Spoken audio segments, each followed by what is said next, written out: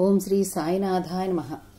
బాలారాం మాన్కర్ అనేవాని విషయంలో సాయి చేసిన లీల గురించి చెప్పుకుందాం. బాలారాం మాన్కర్ అను గృహస్థుడు ఒకడు బాబా భక్తుడుగా నుండెను. అతని భార్య చనిపోయిన. అతడు విరక్తి చెంది కొడుకునకు గృహభారం అప్పగించి షిరిడీకి వచ్చి బాబాతో నుండెను.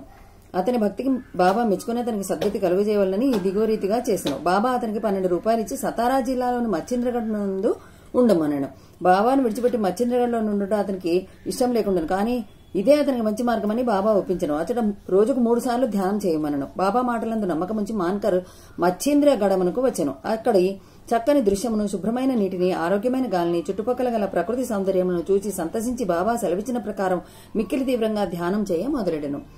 కొలది దినముల పిమ్మట ఒక దృశ్యమును గనను. సాధారణంగా భక్తులు సమాధి స్థితి అందు దివ్యానుభవములను పొందెదరు. కానీ మాన్కర్ విషయంలో ఉన్నట్లు కాక చైతన్యమునకు వచ్చిన పిమ్మట దివ్య దర్శనములు లభించెను. అతనికి బాబా స్వయముగా కనిపించెను. మాన్కర్ బాబాను చూచుటే కాక తన నచ్చట కేల పంపితివి అని అడిగాను.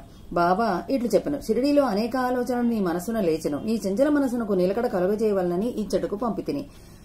నీవు పంచేంద్రియములతో పంచేంద్రియములతో మూడున్నర మూరల మనిషిగా నన్ను భావించితివి. నేను ఎల్లప్పుడూ షిరిడీలోనే ఉండదని అనుకుంటువి ఇప్పుడు నీ విచట చూసిన నా రూపము షిరిడీలో చూసిన నా రూపంతో సమానంగా నున్నదో లేదో నిర్ధారింపు అందుకే నిన్నిచటికి పంపితిని. కొంతకాలం గడిచిన పిమ్మట మాన్కర్ గడమనుకు విడిచి బాంద్రాకు పయనమయ్యాను. పూనా నుండి దాదరకు రైల్లో పోవాలని అనుకున్నాడు. టికెట్ కొరకు బుకింగ్ ఆఫీస్కు పోగా అది మిక్కిలి కిరికిరేసి ఉండెను అతనికి టికెట్ దొరకకుండాను. లంగోటి కట్టుకుని కంబళి కప్పుకున్న ఒక పల్లెటూరు వాడు వచ్చి మీరు ఎక్కడికి పోవచ్చున్నారు? అని అడిగాను.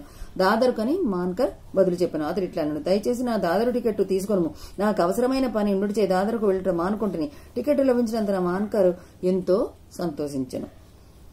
జేబులో నుంచి పైగం తీయనందులో నా జానపదుడు అంతర్ధానమైన మాన్కర్ ఆ గుంపులో అతనికే వెతికాను. కానీ లాభం లేకపోయాను.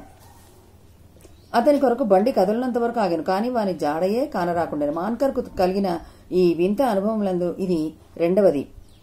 ఇంటికి పోయి వచ్చి తిరిగి మాన్కర్ షిరిడి చేరను. అప్పటి నుంచి షిరిడిలోనే బాబా పాదములను ఆశ్రయించి ఉండెను వారి సలహాలను అనుసరించి నడుచుకొని చుండెను తుదకు బాబా సముఖమున వారి ఆశీర్వాదములతో ఈ ప్రపంచం విడిచినందువలన అతను ఎంతో అదృష్టవంతుడు అని చెప్పవచ్చును. ఇది బాలరామ్ మాన్కర్ యందు సాయి చేసినటువంటి లీల. ఓం శ్రీ సాయినాథాయ నమః.